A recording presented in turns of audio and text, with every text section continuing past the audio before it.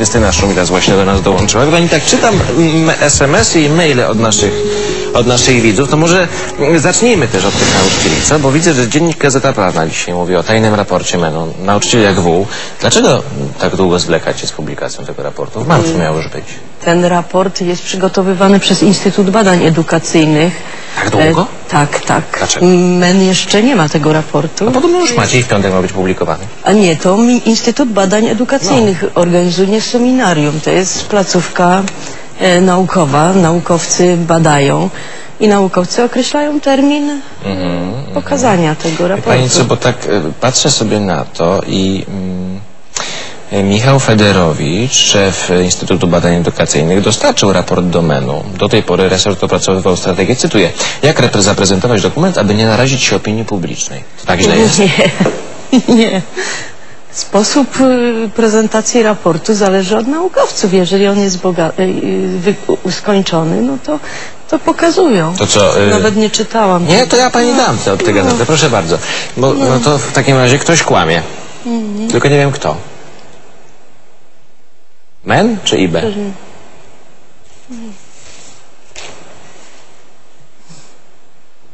Nie będzie komentarza? A jesteśmy na wizycie? Cały czas jesteśmy na Tak? wizycie. Tak, tak, oczywiście. A, no to ładnie. Nie, y, y, y, raport jest badany przez, raport jest przygotowywany przez Instytut Badań Edukacyjnych. Instytut Badań Edukacyjnych y, przygotowuje raport. Oczywiście No i miesiąc temu wam go dali. Co w nim jest? Instytut Badań Edukacyjnych przygotowuje raport. Przekażę ten raport y, w piątek, pokażę go opinii publicznej. Pani to czytała? Y, Ja czytałam tylko wnioski płynące z tego raportu. Wnioski, które dotyczą y, czasu pracy, dotyczą tego, co w raporcie jest y, publikowane. Nie znam szczegółów, bo oczywiście... Jakie są takie wnioski, które z tego płyną? Bo oczywiście mm, ten raport jest raportem przygotowywanym przez Instytut Badań Edukacyjnych. to już wiem, od tak? pięciu minut pani to powtarza, tylko Tak. chciałbym się dowiedzieć, co jest w tym raporcie, jakie płyną z niego wnioski, no bo tutaj to, co piszą e, m, w dzienniku Gazecie Prawnej na pierwszej stronie, e, międzynarodowe zestawienia, w tym OECD, polskich nauczycieli umieszczają na szarym końcu pod względem liczby przepracowanych godzin, tymczasem wiadomo nieoficjalnie, że sami nauczyciele wyliczyli, iż pracują znacznie dłużej. Na tej podstawie być może będą się domagać zapłaty za nadgodziny od samorządów, co więcej, pedagodzy obawiają się, że rząd zmanipuluje korzystne dla nich wyniki y- raportu. W piątek mają ujawnić Instytut Badań Edukacyjnych. No to co jest w tych Znaczy, wnioskach? y, y, ten raport mówi o czasie pracy nauczycieli na podstawie informacji przekazywanych przez, przez nauczycieli. Metodologia y, badania czasu pracy była opracowana przez y, naukowców. Nauczyciele deklarowali, ile pracują. I y, deklarowali, o, deklarowali w tym raporcie mm, o tych czynnościach, które są wykonywane przez nauczycieli. Czas pracy nauczycieli składa się z dwóch jakby elementów. Pracy z dziećmi Nie pracy bez i, dzieci. i to jest te 18 godzin etatu plus dodatkowe godziny, dodatkowe zajęcia na, y, y, związane z opieką nad dziećmi, zajęciami pozalekcyjnymi. Czas pracy nauczyciela składa się z y, przygotowania do lekcji y, i innych czynności. Dużo takich SMS-ów od i nauczycieli tak- dzisiaj dostaliśmy, bo oni i tak- o tych składowych i piszą. tak Tylko pytanie, dalej. jakie I- są wnioski? I to, co mnie y, bardzo zaniepokoiło, jeżeli chodzi o te wnioski, to to, że y, y, oczywiście deklaracje dotyczące czasu pracy pokazują, że nauczyciel pracuje mm, ponad te 40 godzin, które jest w karcie mm, zapisane. Natomiast ten czas pracy mm, nie jest równomiernie rozłożony pomiędzy te czynności, które nauczyciel y, wykonuje, dlatego że e, na przykład bardzo mało czasu poświęcają nauczyciele na spotkania z rodzicami. E, Bardzo mało e, czasu poświęcają nauczyciele na doskonalenie, mniej niż się spodziewałam, że A ile powinni? Ja mówię o proporcjach pewnych, tak? Jeżeli to jest No, pytam, 1%, to- jeżeli to jest 1%, ja nie pamiętam, bo y, tak jak panu powiedziałam, ja widziałam tylko ogólne wnioski, tak? Takie bardzo ogólne. Y, jesteśmy przygotowani na to, żeby w piątek o tym raporcie porozmawiać bardziej dokładnie. E, natomiast y, natomiast y, y, zaskoczyło mnie to, że, że w ramach tego czasu pracy bardzo mało y, y, czasu jest y, y, na spotkania z rodzicami, bardzo mało czasu jest na y, doskonalenie się nauczycieli. Jak sześciolatki pójdą do szkoły, to będzie jeszcze mniej. Y, Nie, ponieważ nie zmieni się czas pracy nauczyciela. Ale ja nie będzie więcej proponowałam dzieci, tak? zwie- nie, nie, to nie tak y, działa, to nie tak funkcjonuje. Ja nie proponowałam zwiększenia pensum. Mhm. Ja tego nie powiedziałem. Tak, ja proponowałam w zmianie karty nauczyciela właśnie zwrócenie uwagi na y, te czynności nauczyciela, które są ważne z punktu widzenia jakości kształcenia i są ważne z punktu widzenia wychowania dziecka, bo właśnie czas y, y, spotkań z rodzicami jest bardzo ważny i istotny. Tak? Krystyna Szumilas, minister edukacji narodowej jest naszym gościem. Panie minister, do rozmowy wracamy po informacjach, które dosłownie za trzy minuty na Państwa antenie, bo dochodzi godzina ósma. O Szczecin na Państwa ekranach chyba jeszcze nie pada. E, Przypominam, moim gościem jest Krystyna Szumilas, minister edukacji narodowej. Witam po przerwie. Za tydzień, 12 czerwca, złożony zostanie w Sejmie wniosek o przeprowadzenie ogólnokrajowego referendum dotyczącego m.in. Yy, obowiązku, obniżenia wieku obowiązku szkolnego z 7 do 6 lat. 500 tysięcy ludzi mm, podpisało się pod projektem. Tymczasem e, nasza skrzynka mailowa, która jest bardzo aktywna i tutaj ludzie bardzo dużo o tym piszą, mm, pytają, co z sześciolatkami? Bo bez dobrego przygotowania przedszkolnego nie powinny iść do szkoły, a kto je będzie uczył? Nauczyciele szkolni w większości się nie nadają. Pani Agnieszka, jak pani odpowie? Y, Po pierwsze, nauczyciele w szkole mają kwalifikacje do pracy z małym dzieckiem. Nauczyciele i przedszkolni, i nauczyciele z klas 1-3 mają takie same kwalifikacje i przygotowują się właśnie do pracy z małym dzieckiem, z małym dzieckiem, z dzieckiem do, od, od trzeciego roku życia do dziewiątego roku życia.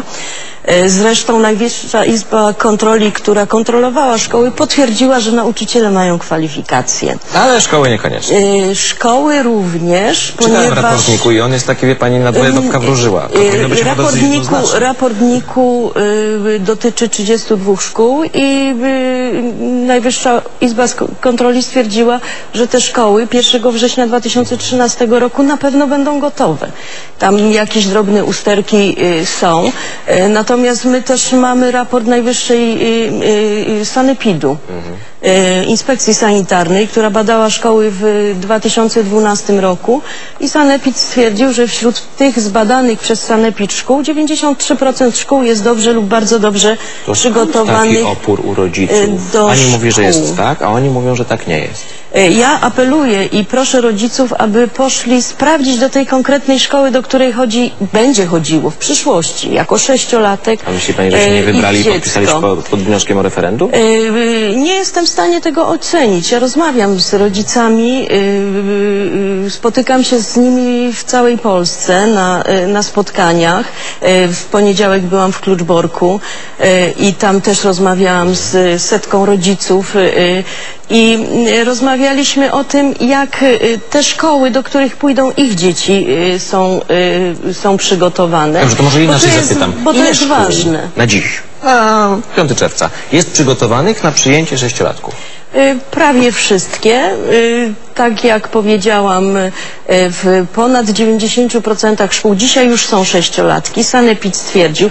Kuratorzy też y, kontrolują szkoły. Y, Szkoły są kontrolowane przez NIK i wszędzie tam, gdzie zdarzają się jakieś uchybienia, wydawane są decyzje o tym, żeby te uchybienia naprawić. Ja myślę, że problem nie leży w przygotowaniu szkół. E, Problem leży w zmianie pewnej tradycji i takim myśleniu o małym dziecku jako dziecku, które nie potrzebuje, może mm, e, które e, właściwie mm, e, rozwija się w takim przyjaznym środowisku I że nie powinniśmy małemu dziecku, mm, na małe dziecko nakładać czy, czy inspirować je ponad to, co, co jest w takiej tradycji przyjęte. Tradycja To znaczy? 7 lat e, to jest e, e, czas, kiedy w Polsce dzieci rozpoczynają edukację szkolną. E, Natomiast A byłaby Pani za jeszcze większym obniżeniem? nie, 6 lat to jest ten czas, y, który, y, który jest dobrym czasem na rozpoczęcie edukacji szkolnej. W tym czasie umysł dziecka jest najbardziej chłonny i tego, czego nauczy się w tym czasie, to będzie procentowało w jego nauce w szkole i w dalszym życiu. Nie walczyłabym, nie rozmawiałabym, nie jeździłabym po Polsce, nie przekonywałabym do obniżenia wieku szkolnego, gdybym sama wewnętrznie, jako pedagog, rodzic, e, nie była e, przekonana do tego, że to jest ważne e, dla dziecka i że to zwiększa jego szanse. Pani Agnieszka, I- która pisała w sprawie sześciolatków, mówi tak, przyszedł kolejny SMS. Przepracowałam 30 lat w szkole i wiem, co mówię. Mm, Ja e, nie przepracowałam 30, przepracowałam 16 e, i też wiem, co mówię. Jestem też matką trójki dzieci i e, mm, w tej chwili już dorosłych i też wiem, co mówię, bo też patrzę na to, Czyli co, za wolno się rozwijały? Powiem Dzieci. tak, że gdybym wtedy miała szansę na to, żeby poszły wcześniej do szkoły, na pewno bym tą szansę wykorzystała. To było dużo lat e, temu. E, były inne i, i e, kiedy mój najmłodszy syn był w e, okresie przedszkolnym, wówczas dopiero wprowadzano zerówki e, obowiązkowe, e, nie, wtedy jeszcze nie obowiązkowe. Zachęcano rodziców do tego, żeby dzieci poszły do przedszkola w wieku y, 6 lat. Już wtedy wiedziano, że to jest dobry okres na rozpoczęcie edukacji, y, y, To w takim rozpoczęcie razie, skoro już edukacji wtedy wiedziano, dziecka. to rozumiem, że ta reforma jest spóźniona o ile lat? O tej reformie tak naprawdę mówiono od 99 roku. I gdyby prześledzić e, programy, e, programy polityczne, programy partii politycznych, to każda z partii, i SLD, i PiS, e, miały w swoim programie obniżenie wieku szkolnego. E, To nie jest coś, co... Czyli ten, ten projekt ustawowy, referendalny, rozumiem, w Sejmie przepadnie za tydzień. To zależy od parlamentu. Żyjemy w demokratycznym A państwie. tak ma pani? Każdy, y, każdy y, może y, y, i, i, i powinien pod- podejmować aktywność obywatelską. Ja będę przekonywała o tym, że edukacja od sześciu, y, w wieku 6 lat jest ważna, wartościowa. Powiem jeszcze jedno. Nie bójmy się utraty dzieciństwa przez dziecko, bo dzieciństwo dziecko traci, kiedy to dzieciństwo nie jest dla niego inspiru- inspirujące, kiedy nie powoduje ym, jego rozwoju. I oczywiście y, są dzieci, które mają wspaniały dom, wspaniałych rodziców, są inspirowane przez środowisko, ale też mamy dzieci, które nie są wspierane przez y, y, otoczenie, w którym żyją i dla nich też to obniżenie wieku szkolnego jest bardzo ważne. No i tak, NIK, przepraszam, nie NIK, PAN. Nauczyciele i naukowcy z PAN dołączają do przeciwników obniżenia wieku szkolnego. Sekcja Krajowa Oświaty i Wychowania NSZZ Solidarność zrzeszająca 70 tysięcy nauczycieli i pracowników administracyjnych mówi nie obowiązkowemu, obowiązkowi szkolnemu dla sześciolatków. E, Kolejny głos Stowarzyszenie i Fundacja Rzecznik Praw Rodziców, ci, którzy zresztą Tak. zbierali podpisy Ja pod może- wnioskiem. Tylko ja dokończę, dobrze, sekundeczkę. Dobrze. Podział rocznika dzieci urodzonych w 2008 roku na połowy i objęcie jednej z nich obowiązkiem szkolnym w wieku 6, a drugiej w wieku 7 lat jest sprzeczne z konstytucją, z konstytucyjną No zasadą to już równości. wyjaśnialiśmy, to już wyjaśnialiśmy. To jest naprawdę y, nadinterpretacja już taka, która, y, której nie da się obronić, tak?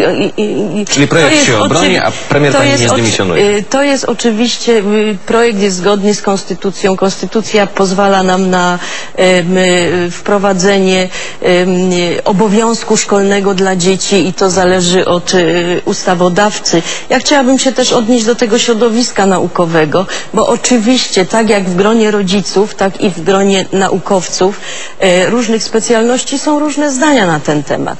Ale e, dla mnie e, reprezentatywne jest to, co e, mówi na przykład konferencja akademickich szkół e, e, polskich, czyli rektorzy największych uczelni w Polsce, którzy bardzo mnie wspierają w, w wprowadzaniu zmian i obniżeniu wieku szkolnego. To są reprezentanci środowiska najwyższych uczelni w Polsce. Jeżeli chodzi o opinię PAN, to mam z tego komitetu, który, który, w którym jest pan profesor Śliwerski, zdanie e, innych, innego profesora, który mówi, że on jest e, za obniżeniem e, wieku szkolnego, że to daje szansę dzieciom. I ja proponuję, żebyśmy tą dyskusję prowadzili na racjonalne argumenty. To znaczy, żebyśmy się opierali w tej dyskusji na mm, faktach, na badaniach naukowych, e, natomiast... z tym, że obydwie strony przytaczają właśnie takie fakty i No niestety, niestety niektóre opinie mm, nie są opiniami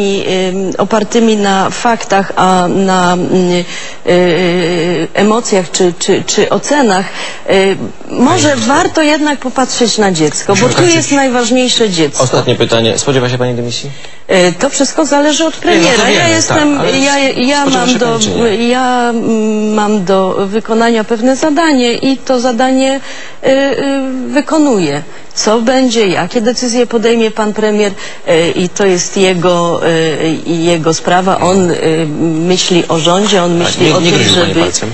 Żeby... Ja nikomu nie grożę palcem. Ale ja pani, mi, wszystkich- pani nie grożono palcem, tak? Pan, minister, Yy, pan premier nie grozi. Też y, staram się nie, nie patrzeć na to, co się dzieje niezwiązanego z tym, co jest dla mnie ważne i istotne, czyli najważniejsze są sześciolatki w tej chwili, Krystyna bo to jest cywilizacyjna zmiana. Minister Edukacji Narodowej, bardzo dziękuję. Dziękuję. Za chwilę informacje, zapraszam.